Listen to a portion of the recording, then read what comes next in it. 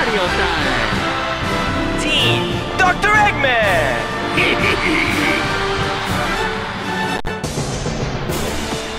Kickoff. Whoa!